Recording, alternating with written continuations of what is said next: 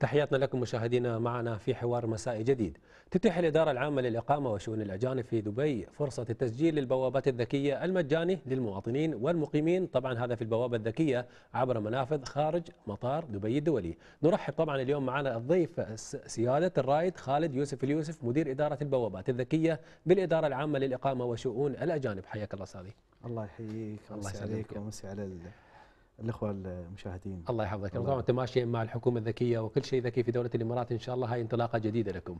نعم. الله يحفظك يا رب. التوجيهات السامية هذه واهتمام القيادة طبعا في نعم. نعم ربي يحفظك. نحن معنا تقرير عن الموضوع ناخذه مع بعض إن شاء الله والمشاهدين ومن ثم نعود للحوار.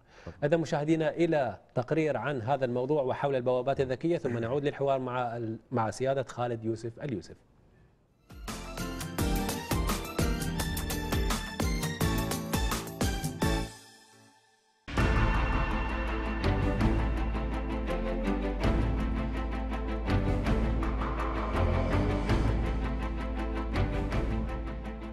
وفق رؤية الإمارات 2015 أطلقت الإدارة العامة للإقامة وشؤون الأجانب في دبي خدمة جديدة لاستبدال الخدمات الإلكترونية والخدمات الفردية بخدمات ذكية. تتيح هذه الخدمات للمراجعين إنهاء خدماتهم من دون الحضور إلى الإدارة وتهدف إلى تقليص أعداد المراجعين لتصل إلى مرحلة عدم الحاجة إلى الحضور إلى مقر الإدارة أو المكاتب الخارجية نهائياً. وتستجيب البوابة الذكية لرغبات المسافرين بأعلى المعايير الأمنية حيث أنها تتيح للمسافرين المسجلين استخدام جواز السفر أو الهوية الوطنية أو بطاقة بوابة الإمارات وحتى الهاتف الذكي كطرق مختلفة لاستخدام البوابة الذكية. ويمكن إنتاج الباركود الخاص للدخول إلى البوابة الذكية باستخدام الهاتف الذكي عن طريق التطبيق الذكي. المتوفر في جميع متاجر التطبيقات. كما ولا توجد متطلبات مسبقة لاستخدام البوابة الذكية إلا جواز سفر يمكن قراءته إلكترونيا. ومن بعدها يقوم المسافر بالتسجيل المجاني لبيانات جواز السفر وبصمة العين والوجه ومن ثم استخدام البوابة عند الوصول. الجدير بالذكر أن البوابة الذكية تسمح بإنهاء إجراءات تدقيق الجوازات خلال 8 إلى 12 ثانية فقط وهو ما يوفر الوقت ويقلل الازدحام عن مأموري الجوازات.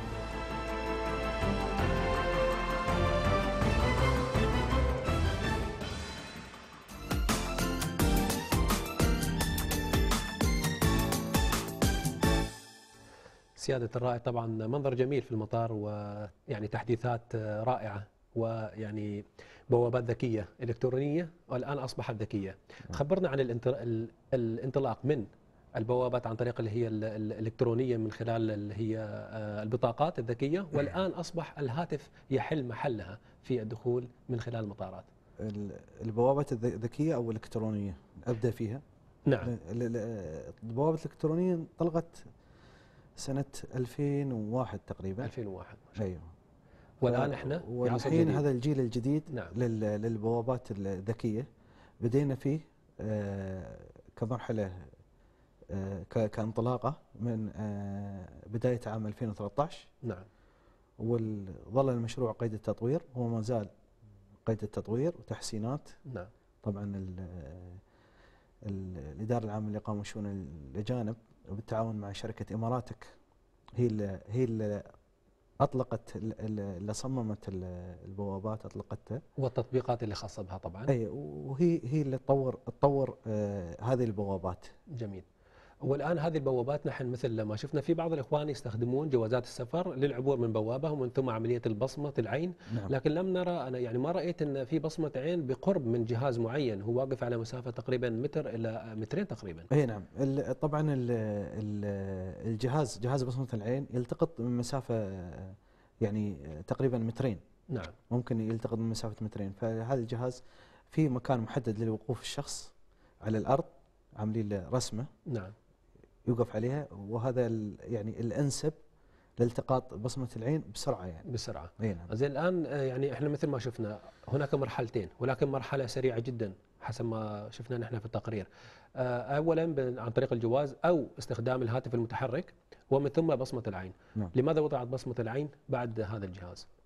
آه، أول ما تدخل على ال على ال الخدمة تعرف بنفسك. نعم. بواسطه الجواز أو بواسطه الهاتف الباركود. الهاتف المتحرك مجرد ما تعرف على نفسك تفتح لك البوابة الأولية فتدخل فيتأكد منك هل أنت الشخص اللي صحيح. حامل الجواز هو فعلا الشخص اللي واقف لأخذ بصمة العين فإذا تطابق ال ال ال الشخص صاحب الشخص الجواز نفسه. والشخص اللي واقف آه، في في البوابة طبعا يفتح لك الباب جميل. طب الحين نحن يمكن نوضح للمشاهدين أكثر من خلال يمكن فيديو نعرضه الآن. نعم. نشوف الفيديو. يعني اللي بنشاهده الحين هو فتاة صغيرة في السن وهم أول فتاتين تقريبا بدأوا واستخدموا هذه التقنية الحديثة في مطارات دبي. خلينا نشوفها مع بعض. خبرنا دك... طبعا هاي آه، بنت آه، سجلت مع أهلها. نعم. فطبعا إحنا نسجل من ال- فئه الثمان سنوات تسع سنوات بحيث. إنه يكون يقدر يتعامل مع مع البوابة آه، يعني ما ما يسبب ربكه للأشخاص اللي اللي ورا هاي بعد أعطتنا علامة الشيخ إيه، محمد إيه، ربي نعم. يحفظه نعم جميلة يعني هي فقط مجرد الوقوف على هذا مثل ما شفنا نحن مجال قدمين الله يعزك اي نعم وينظرون إلى شاشة معينة يظهر نعم. مباشرة عملية ال- عملية نعم. اللي هي ويقوم الجهاز بال بال بال ال- طبعا البوابة فيها رسائل توجه توجيهية. نعم. توجه الأشخاص هذه. إذا كان الشخص مثلا عربي جوازه عربي فمجرد ما يحط جوازه الجهاز يتعرف عليه فيكلمه باللغة العربية. جميل. إذا كان الشخص أجنبي فيكلمه باللغة آه في الانجليزيه تواصل أيضا. نعم. جميل هذا نعم. رائع. طب الآن أنتم يعني مع هذه التقنية الحديثة نعم. آه، تتوقعون إنها تحل محل ال- آه، الجوازات وجهات الاستقبال لاذونات الدخول وإدخال ال- يعني ال- القادمون أو المغادرون إلى الدولة؟ نعم طبعا هذا النظام كنظام آه، كانطلاقة للمشاريع قادمة. نعم. طبعا أنت مجرد ما سجلت بصمة عينك فتكون معرف في النظام أن أنت فلان الفلاني تحمل مثلا الجواز أو الجنسية الفلانية مسجل عندنا في في نظام آه، نظام البوابة الذكية. فبعدين إذا كانت آه، أنظمة جت بعدين بتكون مرتبطة بهالنظام بهالنظام نعم. الآن هذا النظام هو فقط عن طريق تطبيقات معينة على الهواتف المتحركة. هل هي خدمة واحدة أو هناك خدمات شاملة؟ طبعا التطبيقات ال- ال- ال- التطبيق ال- الخاص بالإدارة العامة للاقامه وشؤون الأجانب يحوي عدة خدمات. نعم. البوابات الذكية جزء، خدمة جزء من خدمة الخدمات. من الخدمات نعم. هذه طب الآن هذه الخدمة تفيد الفرد أو على مستوى الشركات؟ لا في طبعا التطبيق يخدم ال- الأفراد ويخدم الشركات. نعم. على مستوى الأفراد كيف تخبرنا عنها بشكل أكثر؟ كيف يستفيد الفرد من استخدامه لهذه التقنية في حياته الاجتماعية داخل الدولة؟ نعم. آه أنت مجرد ما دخل سجلت ودخلت على التطبيق فهو يعطيك مثلا الأشخاص المكفولين لديك. الجوازات جوازك إذا كان ساري أو بينتهي. نعم. فيذكرك بهذا ال- يعني يصبح ملفك أنت في دولة في يعني ملفك الجنسية والإقامة إلكتروني معرف. لديك. نعم. ويصبح عندك أنت موجود. نعم موجود. ويعطيك رسائل آه، تنبيهية. تنبيهية نعم. في حيث أن آه، الإقامات أو ال- الجوازات بتنتهي يذكرك بها عشان تبادر بتجديد جميل. وعملية التجديد تتم أيضا من خلال التطبيق ولا يحتاج الشخص انه يذهب أو يراجع الجوازات والوزارات اللي هي المع- المعنية أو المختصة؟ في آه، طبعا ال- الج- الجهات ال- آه، مثلا إذا كانت وزارة العمل نعم. فلازم آه، تكون تجدد من عندهم. فمجرد ما تجدد ينعكس عندنا في النظام إن أنت جددت هي. عنده هو ما زال الموضوع غير آلي لكن إحنا عندنا معلومات إنه أيضا وزارة العمل أيوة. يعني تسعى لأن يصبح هذا الموضوع آليا يضم إلى النظام إذا أصبح عند لدى يعني لدى وزارة العمل العمال آه، تطبيق خاص فيها، هل التطبيق هذا يضم إلى نفس التطبيق الشامل عندكم؟ نعم نحن بيننا وبين وزارة العمل في آه، تواصل في طبعاً. في ربط إلكتروني نعم بمجرد ال ال أي شخص جدد بطاقة العمل ينعكس عندنا في النظام إن هذا الشخص قام بتجديد بطاقة العمل فيتقدم عندنا بتجديد الإقامة فنجدد له.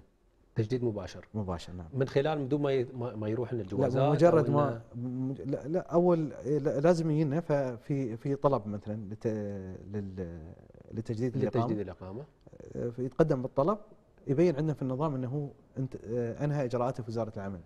في وزارة العمل. لكن عندكم أنتم ما يحتاج انه يقدم طلب. لا، يقدم طلب يكون e-form طلب إلكتروني إلكتروني إيه. إلكتروني ما زال إيه. إلكتروني يعني ما إيه. يحتاج إنه يروح لكم نعم طب في هذا الصدد مثل ما إحنا قاعدين نقول الآن أن الشخص يوفر على نفسه عمليات كثيرة من مواصلات من آه، وقت إضافي وأخذ أذونات من العمل إلى الذهاب إلى المنطقة والبحث عن parking يعني نعم شغلة كبيرة إلى أي مدى ساهمت في تطوير الحياة الاجتماعية ورضا المتعاملين عندكم آه، طال عمرك التطبيقات هاي الالكتروني الذكية تخدم الأفراد وتخدم الشركات. فالشخص بيوفر وقت وجهد في الانتقال من إلى نعم. وأنت مثل ما تفضلت قلت يبحث عن parking أو شيء صحيح. زحمة ما زحمة. فهو ال application عنده على التليفون فيدخل عليه ويكون معرف عندنا في النظام. نعم. مجرد ما يقدم الطلب يوصل. عندنا في هذا ويتم الإجراء على ال على ال باعتقادك أيهما أسرع؟ النظام أم الذهاب إلى الجوازات؟ لا النظام الإلكتروني طبعا أسرع. أسرع. أسرع نعم. والرد والرد واضح ما فيه يعني لأن في نفس تلاعب. الإجراءات أنت لو تأخذ المسافة اللي بتوصل للجهة فأنت قدمت صحيح. عن طريق ال- نعم. وفي نفس الوقت ستذهب إلى طباع والطباع بيجلسك نص ساعة ساعة لين يعبي لك ال- الطلبات. طب الآن لو أتحدث عنها عن عملية أمنية هل آه هذا النظام يعني لديه الاحتياطات الأمنية المتكاملة لئلا يستغل هذا التطبيق لأشخاص مثلا من عمليات اللي إحنا نعرفهم إنه يدخلون على الأنظمة ويستخدمونها بشكل آه يعني بشكل غير سوي وهو الاستفادة ماديا من بانتحال شخصيات. نعم طبعا الإدارة العامة للاقامه والشؤون الأجانب أخذت هذا الشيء في الحسبان فما تطلق أي تطبيق أو أي آه، أي مشروع إلا طبعا متأكدة من إنه ما في ثغرات أمنية. نعم. فطبعا مجرد أنت مسجل بجوازك الجواز يكون مربوط بالشخص. وأنت معرف خلاص. أنت معرف نعم. أنت مربوط بالشخص بصمة عينك مسجلة عندنا نعم. فلو حد اخذ جوازك أو حد مثلا تلاعب في موضوع بصمة العين ما ما ما يقدر يعني لأن بصمة العين نظام دقيق جدا. نظام دقيق. ف- على بصمة العين إحنا جايين هنا على تويتر وواحد من الشباب يسأل يقول ماذا عن العدسات وهل يمكن آه، يعني تغير أو يستغل بصمة العين لأن بصمة العين هي عبارة عن أرقام معينة آه، آه، تدل على بصمة عين الشخص من شخص إلى آخر. فهل يمكن إنتاج عدسات ب- ببصمة عين لأشخاص واستغلالها؟ آه، ما أعتقد لأن النظام يقرأ القرنية القرنية قرنية بالضبط. العين ف هو ليس ما يأخذ على برا يعني. لا ما في ما في تشابه بين قرنية شخص وقرنية شخص آخر. جميل. فهو يقرأ لك ال- القرنيتين اليمنى واليسرى. نعم.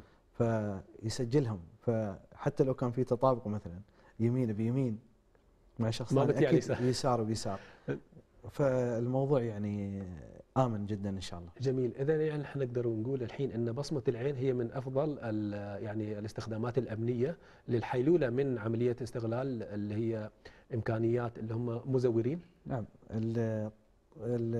مشروع بصمة العين- آه، سيدي سمو وزير الداخلية. الله ال- الشيخ سيف آه، طبق أطلق هالنظام نظام بصمة العين لل للحيلولة دون عودة الم- ال- ال- المبعدين المبعدين جنائيا للدولة. فطبعا هذا النظام أثبت كفاءته كفاءة عالية يعني فما جميل. في ما في أي حد يعني دخل بعد تطبيق هالنظام بال ال- ال- النظام يضبط هذا الأشخاص فلو يغير جوازه وبياناته ينضبط عندنا ما يقدر يغير عيونه نعم ما يقدر. في حد ما جاء ما ما يعني ما جاء جاكم قبل حد مغير عيونه والله المفروض تسأل فيها دكتور يعني إذا يقدر يغير عيونه عيون شخص ثاني ربي يعني القرنية في بعض الأحيان تغير صحيح؟ القرنية إيه، في حالات معينة طبعا إيه. تغير أو لكن لكن أيضا يبقى في ما بغير عيون الاثنين إلا نعم. إذا وايد يحب الإمارات لما يقول له حياك صحيح؟ والله نحن الأشخاص اللي هم اللي هم آه، يفيدون الدولة يعني يا نعم. مرحبا بهم والنعم والنعم في الجميع الله نعم. يحفظك يا رب إذا حبيت توجه كلمة أو تخبرنا عن مستقبل ال ال هذه المبادرات الذكية في الحكومة الذكية شو تخبرنا ولله الحمد يعني هذا النظام اللي, اللي أطلق طبعا آه، هذا بيكون لتكملة بأنظمة أخرى نعم. بتكون آه، تسهم في تسهيل الإجراءات على ال- الأشخاص وتحقيق الهدف اللي هو آه، إسعاد ال- إسعاد الناس. المجتمع طبعا وتسهيل إجراءاتهم نعم. نشوف بسمتهم. فرحانين رايحين بسرعة. آه، نعم. نعم. صح. أنت شفت بروحك في الفيديو يعني. صحيح صحيح. آه، سيادة الرائد خالد يوسف أنا كنت سعيد بلقائك اليوم. شكرا جزيلا. أشكرك على الاستضافة. الله يحفظك يا رب. إذا نحن نشكر سيادة الرائد خالد يوسف اليوسف مدير إدارة البوابات الذكية بالإدارة العامة للإقامة وشؤون الأجانب وأتمنى للإمارات دائما السبق في كل شيء إن شاء الله والحكومة الذكية دائما والإمارات ذكية أما الآن مشاهدينا نحن نترككم في فاصل قصير ثم نعود لكم إن شاء الله مع بقية ما تبقى من حوار أو مساء الإمارات.